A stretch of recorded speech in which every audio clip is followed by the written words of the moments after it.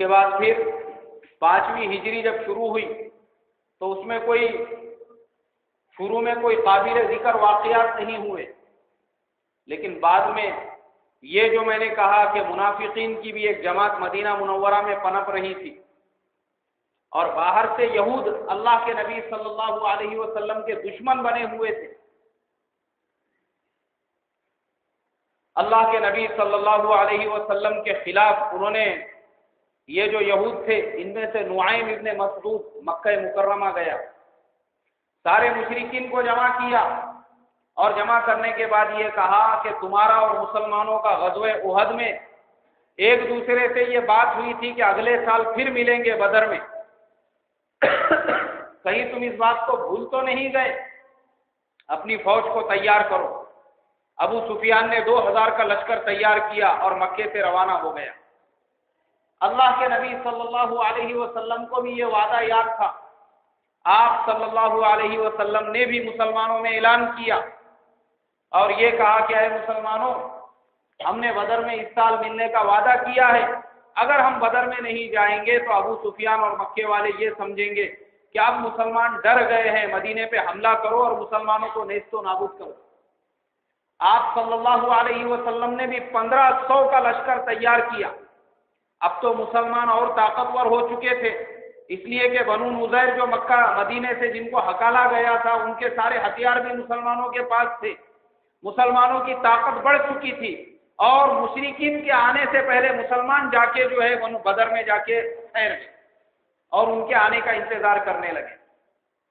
मकाम अतफान पर जब अबू सुफियान पहुँचा और उसको ये पता चला कि अल्लाह के नबी सल्लल्लाहु अलैहि वसल्लम उसके इंतज़ार में 1500 जान इसार साहबा इकराम के साथ उसका इंतज़ार कर रहे हैं तो वो घबरा गया। और सोचने लगा कि बदर में ये 313 थे तो इन्होंने हमारे एक हज़ार को टुकड़े टुकड़े कर दिया। वहद में ये हमारे मुकाबले में आधे थे तो इन्होंने हमको आगे बढ़ने नहीं दिया। अब तो ये हमारे बराबरी में है, ये तो हमको ज़िंदा भी नहीं छोड़ेंगे। बस इसी में उसने अपनी भलाई समझी कि यहीं से मक्का मुकर्रमा को वापस चला जाए। और साहबा, उसने अपनी जमात से ये कहा कि देखो, साहबा का अब हम मुकाबला नहीं कर सकते। यहीं से मक्के वापस चलो, हम अपनी ताकत को और बढ़ाकर दोबारा मुसलमानों पर हमला करेंगे। और जब मक्का वापस लौट गया तो मक्के की औरतें उनको ताने देने लगी और कहने लगी कि तुम लोग सत्तू पीने के लिए गए थे। और बस तुम आधे रास्ते से वापस आ गए।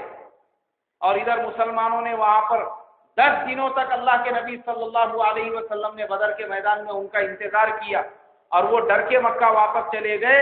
अल्लाह के नबी सल्लल्लाहु अलैहि वसल्लम ने भी फिर मुसलमानों को वापसी का हुक्म दिया। लेकिन इससे एक फ़ायदा यह हुआ कि काफिर और मुशरिकिन के दिलों पर मुसलमानों की एक हैबत बैठ गई।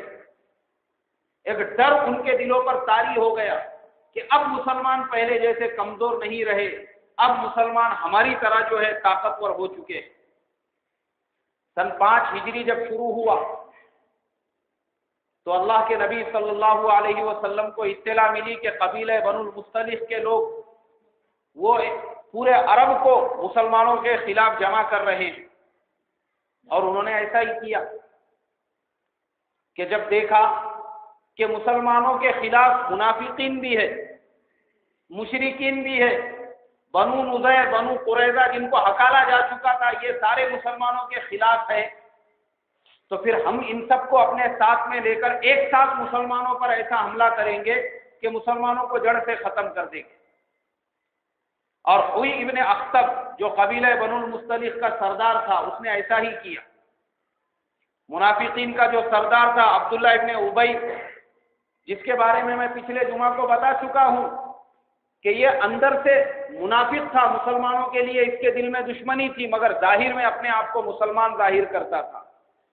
इसने बनुल मुस्तलिफ के लोगों से ये कहा कि तुम मुसलमानों से जंग के लिए तैयार हो जाओ, हम भी मुसलमानों के साथ में आएँगे, लेकिन जब जंग शुरू होंगी, हम मुसलमानों के खिलाफ हो जाएँगे। फिर तुम सामने से, हम पीछे से, इस तरीके से हम मुसलमानों का काम ही तमाम कर देंगे। ये कहकर मुसलमानों की वो सारी जमात रवाना हो गई। मुनाफिकीन भी मुसलमानों के साथ में मिले हुए थे। और ये पहला मौका था कि जब मुनाफिकीन मुसलमानों के साथ मैदान में उतर कर लड़ने के लिए तैयार थे। वरना इससे पहले गजवे उहद के मौके पर अब्दुल्ला इबन उबई इबन सलूल, वो रवाना तो हुआ था लेकिन मैदान में पहुँचने से पहले ही हमारी राय पर अमल नहीं हुआ, ये कह के अपने 300 साथियों को लेके वापस हो गया। ये मैं पिछले जुमा को बता चुका लेकिन इस जंग में उन्होंने ऐसा नहीं किया। मुसलमानों के शाना ब शाना रवाना हुए।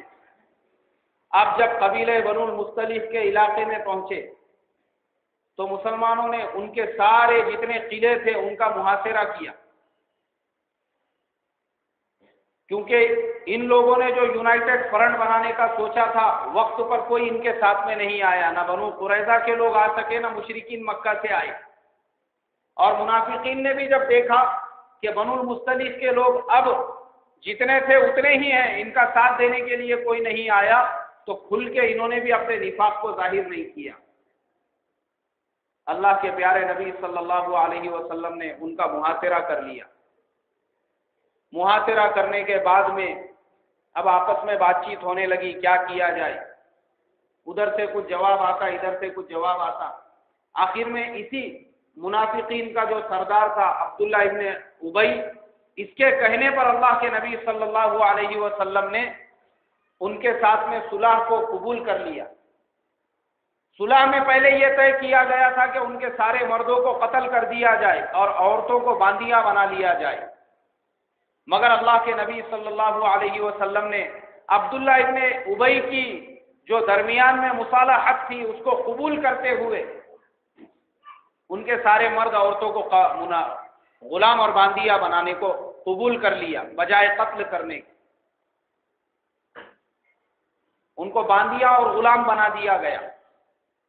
और अल्लाह के प्यारे नबी सल्लल्लाहु अलैहि वसल्लम ने जब देखा कि हुई इब्न अख्तब जो सरदार है उसकी बेटी किसी की बांदी बनी हुई है तो वो सरदार आया आप सल्लल्लाहु अलैहि वसल्लम की खिदमत में और ये कहने लगा कि आप जितना चाहे माल मेरे से कबूल कर लो, लेकिन मेरी बेटी को आज़ाद कर दो। आप सल्लल्लाहु अलैहि वसल्लम ने उससे ये कहा कि अगर तू ऐसा ही चाहता है तो क्या तू ये नहीं चाहता कि तू सरदार है और सरदार की बेटी किसी सरदार की बीवी बने? उसने कहा, मैं तो ये चाहता हूँ आप सल्लल्लाहु अलैहि वसल्लम ने फिर उसकी बेटी से निकाह का पैगाम दिया और हज़रत जुवैरिया रज़ी अल्लाह तहा उनका नाम था, उनके साथ अल्लाह के नबी सल्लल्लाहु अलैहि वसल्लम का निकाह हो गया। अभी से एक निकाह से कितने फ़ायदे हुए? ये जो सारे कबीले थे, यहूद के, जो मुसलमानों के गुलाम और बांदियाँ बन चुके थे, ये सात सौ घराने थे। मुसलमानों में यह खबर मशहूर हो गई कि अरे, अब ये लोग तो अल्लाह के नबी सल्लल्लाहु अलैहि वसल्लम के रिश्तेदार बन गए। सरदार की बेटी आप सल्लल्लाहु अलैहि वसल्लम की बीवी बन गई। तो ये जितने भी लोग हुए, ये अल्लाह के नबी सल्लल्लाहु अलैहि वसल्लम के ससुराली हुए। फिर ये कैसे हो सकता है कि हम अल्लाह के प्यारे नबी सल्लल्लाहु अलैहि वसल्लम के ससुरालियों को अपने गुलाम और बांदियाँ बनाए? मुसलमानों ने उनको आज़ाद करना शुरू कर दिया। मेरे मोहतरम बुजुर्गो, मौलाना अकबर शाह नजीबाबादी रहमतुल्लाह ने लिखा है तारीख इस्लाम में, उस एक निकाह की वजह से सात सौ घराने आज़ाद हो गए। सात सौ घराने आज़ाद।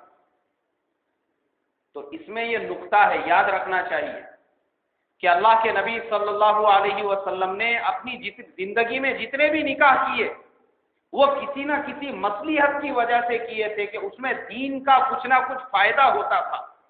अभी देखो इसमें दीन का कितना बड़ा फ़ायदा हुआ। एक साथ सात सौ घराने आज़ाद भी हुए और जब उन्होंने मुसलमानों के अखलाक देखे, मुसलमानों के हुसन सुलूक को देखा, वो सारे के सारे आज़ाद होने वाले लोग इस्लाम में दाखिल हो गए। एक ही दिन में एक निकाह से सात सौ घराने आज़ाद भी हो गए और एक निकाह से सात सौ घराने ईमान में और इस्लाम में भी दाखिल हो गए। इस मसलियत को मद्देनजर रखते हुए अल्लाह के प्यारे नबी सल्लल्लाहु अलैहि वसल्लम ने वो निकाह किया